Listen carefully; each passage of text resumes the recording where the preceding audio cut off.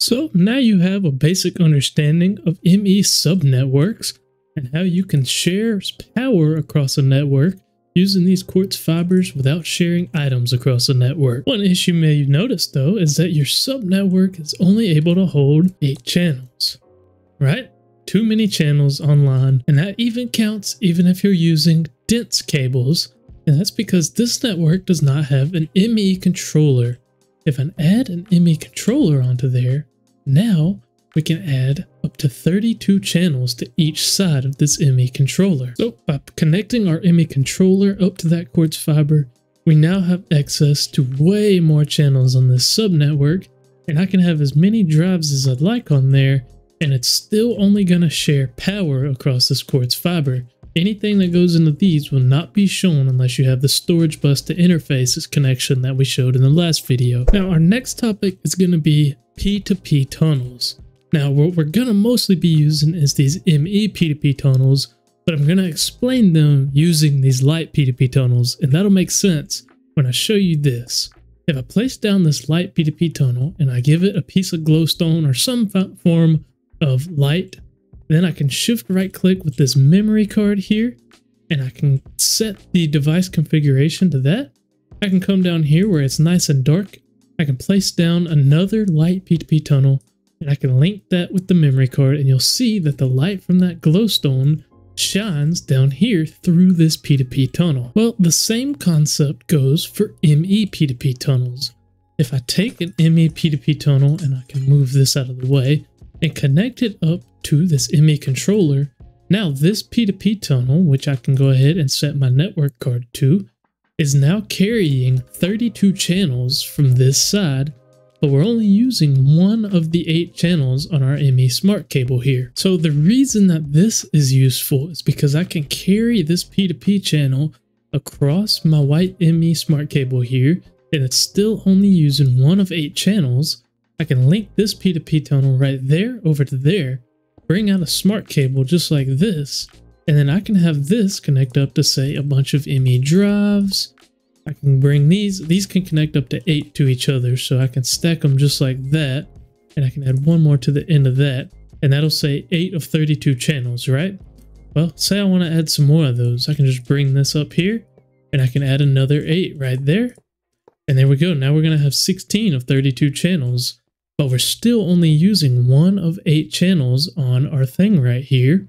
And if I want to, I can throw some storage over in these guys. I have some storage drives right here that have stuff in them. I'll just pick some random ones to throw it in. And you'll see the items are not going to show in this network because this is actually our subnetwork technically here. This is technically the network that all of the items are being stored on here, right? Because this is the controller that that's going to because of this P2P network right here. It's carrying the channels from that controller to right here. So if I were to place a terminal on this network, I would be able to see all of those items. Just like that. To help that make sense, I made it colorful here. We've got dense blue cables right here connecting to all of our drives, and that's the symbol that they are on this network here. Essentially, this network is just our power and channel carrying network. So this will just carry the P2P channels from this network over here. Now, this is when it gets pretty complicated here. This is my main network. This large uh, controller right here is my main network, and that's going to be signified by using a red smart cable here to a terminal. Now, this can be used to carry the channels off of using subnetworks like this. So each one of these controllers is a subnetwork being powered off of quartz fiber here. So each subnetwork has its own color coming off of P2P tunnels.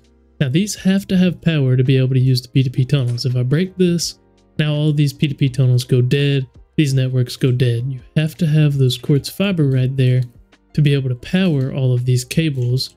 And all I'm doing is quartz fiber like that, and then a Fluix ME glass cable right there to power those. And that will bring those networks back up online. Now, what's amazing about this setup is that since we're sending all of these P2P channels into this subnetwork, I can carry up to 32 of them on one network. So With each of these being 32 channels coming off of the main network, I can carry up to 1024 channels across this. And let me show you how that works. Basically, if I want to have a room right here with a bunch of drives, I can have a P2P tunnel that comes off of here, right? P2P tunnel right there. And then I can link that with a memory card, memory card, just like this. And I can select one off of my thing right here. We'll just pick this one there. New configuration created and copied. And then I can paste it right there and I can grab, actually, I'm going to grab a red dense smart cable because this will now be on our main network up there. So the red one is going to come off of here and I'm going to bring that all the way through here. I've got these sets of drives right here because this is going to be my drive room. I've got four sets of eight, so that's 32 drives. Now I can bring some other cables off of this, some regular smart cables to carry eight channels just like that, and then connect them up right there. And now this is carrying 32 channels worth of ME drives, but we're only using one channel off of our subnetwork right here. And all of those drives will be visible from this terminal right here on our main net. And this system is essentially infinitely expandable. As many P2P tunnels as you can fit on your main controller, you can expand that many channels out and about. So say you want to have another room to have your auto crafting set up in, well all you got to do is set up a P2P tunnel on your subnetwork, just like this. This one's pulling from right over here on the green one. It's coming from this network, so all of my auto crafting is set up right here. I've got eight CPUs and a bunch of molecular assemblers, and it's only using one channel on my subnetwork. So all of that can be controlled from this terminal right there. Well guys, I hope that y'all learned something today. If you do have any questions, feel free to ask. I know this is all very complicated and I'm still learning a lot about this mod as I go. So any questions I will do my best to answer.